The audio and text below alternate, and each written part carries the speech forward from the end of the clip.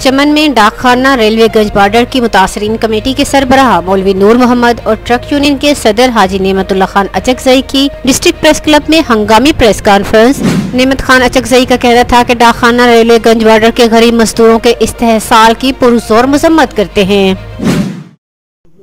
जी, बिल्कुल। आज डाकखाना रेलवेगंज के मुतासरीन कमेटी ने प्रेस कॉन्फ्रेंस से खिताब करते हुए कहा कि गुजशत हफ़्ता म्यूनसिपल कॉरपोरेशन के नायल अमला ने शहर में पार्किंग का बहाना बना कर जली इंतज़ामिया और पाक फौज जैसे मुआज़ इदारे को अंधेरे में रख कर अरसद दराज तीस साल से रेलवेगंज के गरीब आबादकारों के कोके झोंपड़ियों और कंटेनर्स पर शब खून मारा है।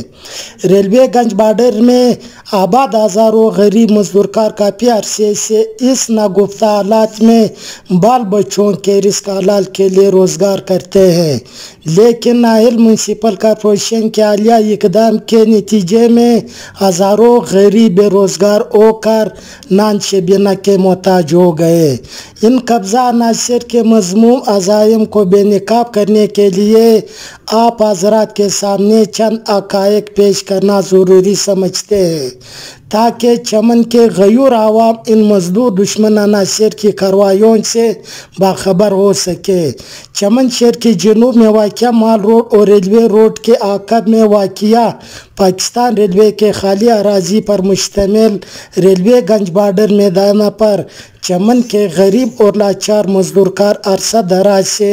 मेहनत मजदूरी कर रहे हैं और ये मस्कुरा ज़मीन पाकिस्तान रेलवे की मलकियत है चमन म्यूनसिपल कॉरपोरेशन के पास अपनी मलकियत के आमिल कई मकाम पर खाली जगह मौजूद है, जिनको इस्तेमाल ला कर हम इस प्रेस कॉन्फ्रेंस के ज़रिए निशानदही करके चमन शहर में ट्रैफ़िक के मसाइल को बखूबी हल किया जा सकेगा। हम इस प्रेस कॉन्फ्रेंस के तवसत से पाक आर्मी के ज़िम्मेदारों, अफसरान और जली इंतज़ामिया के सरबरा डी सी ज़िला किला अब्दुल्ला से